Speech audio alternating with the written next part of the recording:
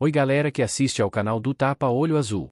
Eu, Fabiano Metal, estou de volta aqui hoje com mais um jogo do Roblox.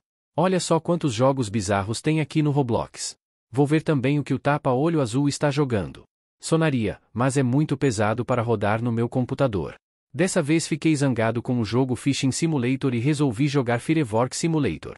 Antes de qualquer coisa vai logo dando like e se inscrevendo no canal. Tem muita gente que assiste o canal, mas não é inscrito.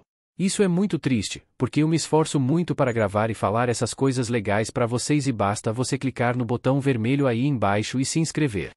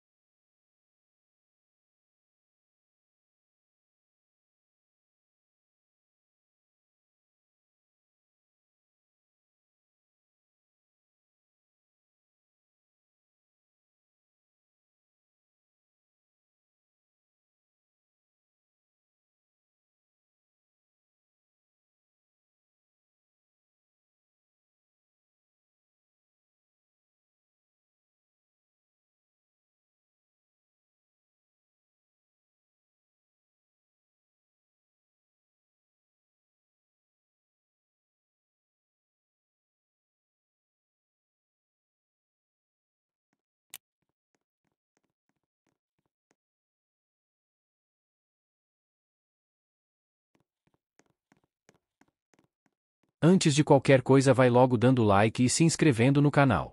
Tem muita gente que assiste o canal, mas não é inscrito. Isso é muito triste, porque eu me esforço muito para gravar e falar essas coisas legais para vocês e basta você clicar no botão vermelho aí embaixo e se inscrever. Mas vamos lá, é hora de diversão. Não esqueça de se inscrever, dar o like e compartilhar o vídeo. São os dois jogos simuladores, Fishing Simulator e Firework Simulator, mas nesse aqui não tem ninguém me enganando para eu ir para uma caverna escura e ficar preso lá. Aqui eu só tenho que ficar soltando fogos e pegando o pó para cheirar, quer dizer, para vender o pó por mais dinheiro e usar o dinheiro para comprar mais fogos. Não esqueça de se inscrever, dar o like e compartilhar o vídeo.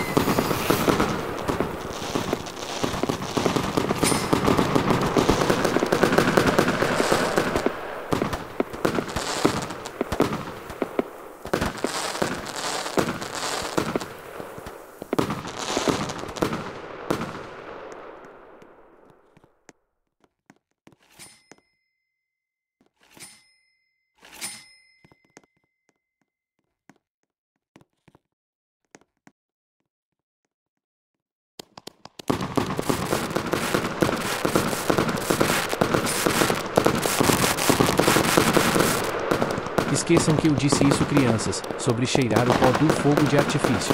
Faz muito mal. Eu mesmo que tenho sinusite sofro muito com fumaça e pó. No São João mesmo eu fico espirrando e com os olhos lacrimejando para caralho. Quero muito e muito mesmo. Não esqueça de se inscrever, dar o like e compartilhar o vídeo.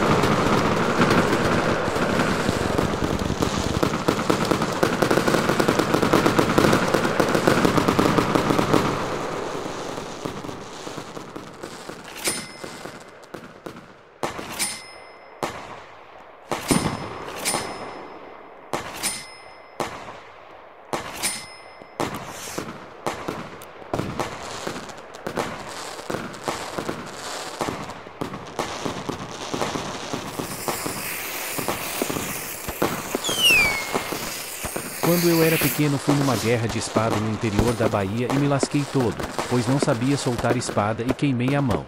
Não esqueça de se inscrever, dar o like e compartilhar o vídeo. No sul do país a espada de São João se chama rojão, mas é a mesma coisa. Aqui no Roblox é tudo lindo e eu não me machuco. Os fogos de artifício, grafia anterior ao 1990, fogos de artifício, são explosivos de efeito pirotécnico ou sonoro feitos para fins de entretenimento, efeitos estéticos ou visuais. Geralmente são utilizados em festividades, eventos, celebrações ou para efeitos especiais e visuais em apresentações, concertos, peças de teatro ou afins. O termo artifício vem do latim artificium, artificial, não natural. Entretanto, seu uso no termo fogos de artifício tem outro significado. Artifício é algo usado para detonar uma carga explosiva, como um isqueiro ou pavio. Logo, os elementos usados para acender o céu com explosões de sons e luzes através de efeitos pirotécnicos são os artifícios. Fogos de artifício são utilizados nas mais diversas ocasiões, principalmente em ocasiões festivas, feriados e festas religiosas. Eles também podem ter diversos tipos, formatos e efeitos diferentes. Os mais comuns são os fogos de estampido e fogos de efeitos visuais que são divididos em diversos tipos, bombas, foguetes, rojões, pontes, etc. Classificações, tipos, efeitos, categorias e níveis de restrição, leis, regulamentos, licenças para soltá-los, etc. O Brasil atualmente é o segundo maior produtor de fogos de artifício do mundo, perdendo apenas para a China. A cidade de Santo Antônio do Monte, no estado de Minas Gerais, é a sede do Polo Brasileiro de Fabricação de Fogos de Artifício. A pirotecnia teria surgido na Ásia no período da pré-história há mais de dois mil anos atrás, quando alquimistas estudavam fórmulas e, a partir da mistura de salitre, enxofre e carvão, inventaram a pólvora. Os fogos de artifício não têm uma origem em um local ou período específico. Os alquimistas do Islã teriam desenvolvido maneiras de criar chamas coloridas com seus sais oxidantes de potássio no século VII. Também há cerca de mil anos atrás, havia os primeiros registros de tiros coloridos de moteiros para fins militares na China, a fim de avisar e comemorar vitórias nas guerras. Por volta do século XIV, os fogos de artifício fabricados na China começaram a aparecer nos bazares na Arábia e nos países europeus, não se sabe ao certo se por intermédio dos comerciantes árabes ou por expedições realizadas por diversos exploradores como Marco Polo.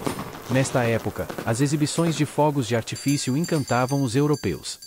No mesmo século, diversos países, principalmente europeus, dentre eles a Itália e a Espanha, passaram a se aperfeiçoar nas técnicas de produzir os fogos, tendo até hoje diversas fábricas e famílias tradicionais produzindo os artefatos. Os fogos de artifício se tornaram populares no Ocidente a partir do século XVII.